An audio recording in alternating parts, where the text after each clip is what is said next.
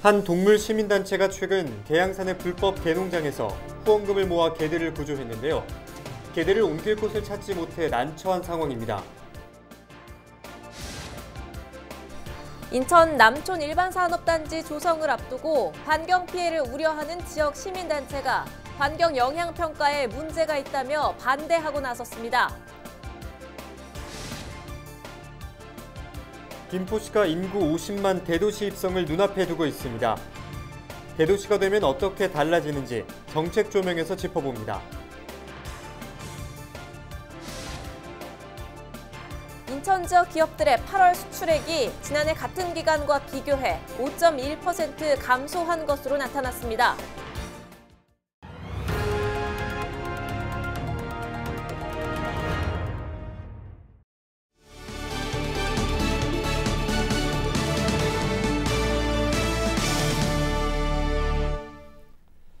여러분 안녕하십니까? 헬로티비 뉴스입니다. 김포시가 GTX-D 노선 유치에 대한 시민들의 염원을 서명으로 받고 있습니다. 김포시는 시민 10만 명의 서명을 받아 국토교통부에 제출할 예정입니다. 서명 운동에 참여하고자 하는 시민은 QR코드 방식이나 김포시 홈페이지를 통해 온라인으로 서명할 수 있습니다.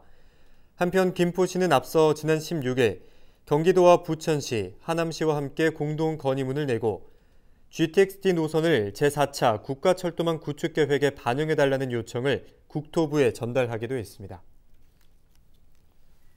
계양산에서는 지난 수십 년간 불법으로 개농장이 운영돼 왔습니다. 이를 발견하는 시민들은 후원금을 모아 수백 마리를 구조했는데요. 구조는 했지만 이번에는 개들을 수용할 곳을 찾는 데 어려움을 겪고 있습니다. 김진재 기자입니다. 피켓을 들고 개들을 보호해달라고 호소하는 동물보호단체와 시민들. 그 옆에는 개 6마리가 앉아 있습니다. 최근 계양산 불법 개농장에서 구조된 개들입니다. 그린벨트로 지정된 곳에서 지난 20여 년간 불법으로 식용 개농장이 운영되어 온 건데 최근 이 사실을 알게 된 동물보호단체와 시민들이 지난 7월 후원금을 모아 농장주에게 매입비를 주고 개 270여 마리를 구해낸 겁니다. 이들은 현재 봉사활동을 하며 개들을 치료하고 사료를 주는 등 관리를 이어가고 있습니다. 그러는 사이 개 60여 마리는 새로운 주인을 찾아가기도 했습니다. 사료 회사에 좀 요청을 하고요.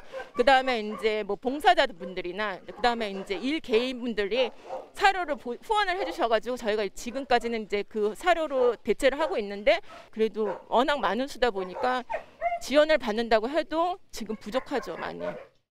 하지만 지난달 31일 불법 개농장에 대한 시설 철거 유예 기간이 끝나면서 계양군은 해당 농장주를 형사고발했습니다. 개농장이 위치한 토지가 그린벨트이기 때문에 관련 법상 시설 철거가 불가피하기 때문입니다. 2017년도에 그래서 어떤 행정처분을 다 처분하고 나서 매년 이행강제금을 이제 부과를 했어요. 정리할 때까지는 이행강제금 계속 부과 하게끔 돼, 있고, 돼 있어가지고요. 근데 이제 올해 들어가지고 어떤 작년부터 이제 문제가 계속돼서 다시 이 부분을 빨리 자진 정비를 해야게끔 유도를 해야겠다 해서 이제 고발을 저희가 이제 올해 한 거죠. 입양과 치료를 위해 나간 개들 외에도 현재 이곳에는 220여 마리의 개들이 남아 있는데요. 당장 이 시설이 철거된다면 이 개들은 갈 곳이 없는 상황입니다. 이 같은 상황에 대해 동물보호단체와 시민들은 그간 계양구와 토지 소유주가 불법 개농장 운영을 방치해온 만큼 철거 기간 유예나 대체 부지 마련에 나서줄 것을 요구하고 있습니다. 실제로 천안시와 하남시의 경우 각각 지난 2019년과 2018년 개 도축장에 있던 개들을 구조하는 과정에서 지자체가 나서 임시 보호처를 마련하기도 했습니다. 계양구청에서 이제 구유지를 확보해서 시민 모임이 임대를 해달라. 이 개들이 개들을 돌보고 이제 입양을 보내니까 시간이 필요한 거죠. 이제 그러기 위해서는 개들이 머물 곳이 있어야 되니까 12월 정도까지라도 철거 강행하는 걸 좀 이제 고려를 해달라는 요구를 드리고 싶습니다. 시민들의 요구에 계양구는 행정부서 입장에서 사실상 할 수 있는 조치가 없다며 난색을 표하고 있습니다. 개발지 법령에 따라서 관리를 하는데 저희가 부동산은 아니, 아니니까 저희 보고 뭐 찾아달라 대퇴부리를 뭐 협의해달라 찾아달라 이게 아니고 저희는 관리하는 입장이고 법령에서 불법 행위를 단속하는 입장이라고 말씀을 드렸어요. 풀어야 할 문제는 또 있습니다. 개농장이 위치한 계양산의 소유주는 롯데 창업주인 신격호 회장의 상속인 4명. 이들은 계양산 내 불법 개농장과 관련해 롯데 지주를 통해 사료 20톤과 개들에 대한 매입 비용 지원 의사를 밝힌 바 있습니다. 하지만 아직까지 지원은 이루어지지 않고 있습니다. 롯데지주 관계자는 지원 계획에는 변화가 없다며 다만 개농장 철거 문제가 먼저 해결돼야 지원을 할 수 있다고 밝혔습니다. 개농장이 강제 철거될 경우 남아있는 개들은 안락사될 수도 있는 상황. 시민들의 도움 덕에 가까스로 목숨을 건진 개들은 이제는 수용할 곳이 없어 또다시 위기에 처했습니다. 헬로티비 뉴스 김진재입니다. 인천시와 인천시 교육청이 미추홀구 초등학생 형제 화재 사고와 관련해 돌봄 사각지대를 모두 찾아 지원 대책을 함께 마련하기로 했습니다. 인천시는 우선 돌봄 소외 위험 대상 아동을 찾아 맞춤형 통합 서비스를 지원하고 위기 상황에 처하는 가구가 생길 경우 응급 대응팀을 가동할 계획입니다.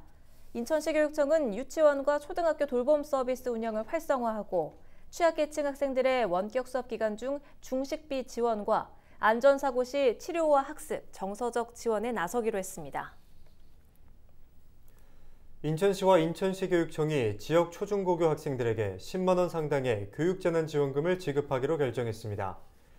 두 기관은 무상급식 예산을 활용해 1인당 현금 5만 원과 5만 원 상당의 현물 쿠폰을 제공하기로 했는데요.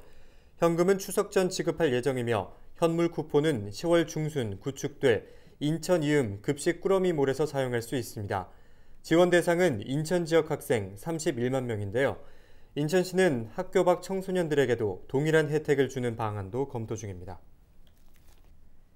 경기도의회가 지역화폐 소비지원금 등이 포함된 2회 추경 예산안을 의결했습니다. 도의회는 임시회 본회의를 열고 33조 3,527억 원 규모의 2차 추가 경정 예산을 의결했습니다. 이번 추경 예산은 도가 제출한 안보다 1,528억 원이 증액된 것이며 1차 추경 예산보다 15% 늘어난 것입니다. 추경안에는 추석 경기 살리기를 위한 지역화폐 소비 지원금 1천억 원과 운수 종사자 마스크 지원을 위한 9억 원도 포함됐습니다.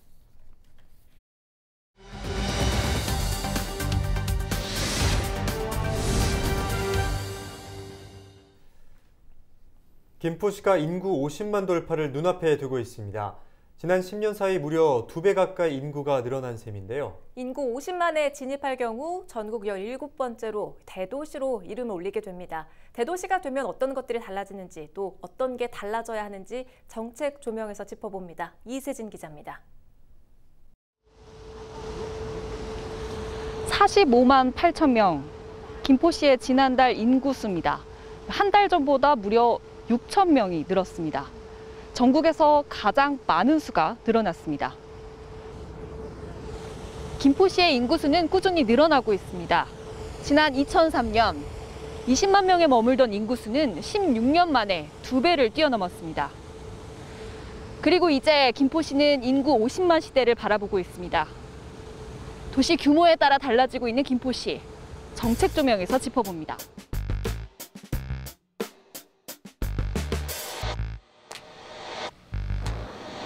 안녕하세요. 김포시 기획 담당관 박윤상입니다. 네, 지금은 저희 김포시는 그 우리 한강 신도시 개발로 인해 가지고 그때부터 해가지고 지금 인구가 굉장히 급속도로 늘고 있습니다. 물론 이제 전국 1위 인구 증가율을 보이고 있지만은 그건 다른 시군하고 또 다른 면은 일단은 30대하고 40대 젊은 인구가 상당히 유입된다는 거죠. 그렇기 때문에 김포는 아직도 개발 진행 중이고 굉장히 역동적인 지역이라고 말할 수 있습니다. 아, 지금 인구 50만을 대비해 가지고 저희 행정적으로는 이제 내년도 1월 1일자 기준으로 그 조직 개편을 준비하고 있습니다. 근데 조직 개편은 실질적으로 이제 인구 50만 대비 조직 개편이 아니고 인구 50만이 충족됐을 때 행정에서 적극적으로 바로 그냥 저기 행정을 제공할 수 있도록 선 단계로 진행을 하고요. 그거에 따라서 이제 단계적으로 50만 대비 조직 개편으로 진행이 될 거라고 보고 있습니다. 일단 대부분 이제 도에서 하고 있는 도지사 권한 업무 한 50개 사무 정도 됩니다. 48개에서 한 50개 정도가 되는데 그 사무들이 이제 50만 시로 위임이 돼가지고 시 자체적으로 도시개발에 따른 어떤 뭐 지구 단위 사업이나 도시계획 변경이나 이런 인허가가 실질적으로 이제 시 자체적으로 시행으로 시 자체적으로 이제 결정을 할 수가 있기 때문에 우리 김포시에서 항상 이제 그 광역으로 올려가지고 그 소요되는 행정 절차 시간은 많이 축소가 돼서 시민들이나 아니면 지역적으로도 굉장히 이제 어떤 지역 개발에 빠른 속도를 좀 보일 수 있다고 봅니다. 포스트 코로나 대비 시정 혁신 계획을 종합 계획을 수립을 해서 지금 이제 그거를 추진하면서 점차 그 어떤 조금 또 부족한 부분 사각지대가 나오는 부분에 대한 거는 지속적으로 보완 점검을 해 나가고요.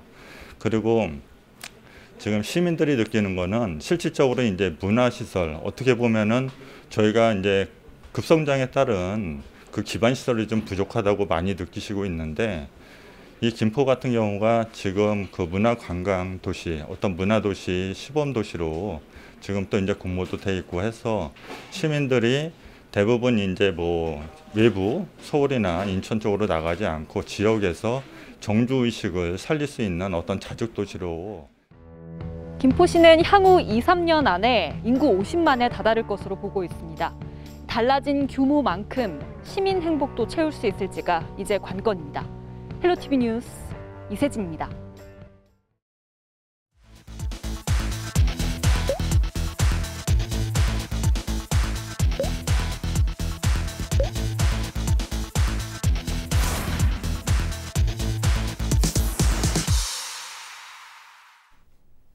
인천 남촌 일반산업단지 조성을 앞두고 지역사회의 반대 목소리가 거세지고 있습니다. 지역 시민단체는 그린벨트를 해제하고 추진하는 남촌 일반산업단지 조성을 당장 멈출 것을 인천시에 촉구했습니다. 원태규 기자가 보도합니다. 인천시청 앞에 모인 지역 시민단체들 남촌 일반산업단지 조성 중단을 촉구하고 나섰습니다. 인천 지역의 어, 건강한 도시 문제 그리고 인천 지역 전체 환경의 문제하고 다 연관되어 있기 때문에 인천 지역 시민단체와 환경단체와 어, 주민들이 함께 오늘 기자회견을 하게 됐습니다. 남촌 일반산단 사업은 남동구 남촌동 일대 26만 6천 제곱미터 부지의 산업 단지를 조성하는 겁니다. 그런데 시민단체가 이 사업의 문제를 삼는 건 산업단지 부지에 그린벨트가 포함됐기 때문입니다. 도시 확산을 막는 완충지대인 그린벨트까지 해제하며 산업단지를 조성할 필요가 있냐는 것. 이 그린벨트는 그나마 남동 국가 산단의 환경 문제를 줄여주는 역할을 해왔는데 이마저도 없애려 한다는 비판을 제기하는 겁니다. 산단 예정지 주변 주민들 역시 불안에 떨고 있습니다. 그 인하대 교수님, 환경 교수님 얘기 들어보니까 만 명당 한 명꼴로 암 발생 뭐그 율이 생길 것이다 하시던데 그러면 한 1년에 한 17명, 20명 얘기하시더라고요. 그게 저희가 안 되리라는 보장은 없잖아요.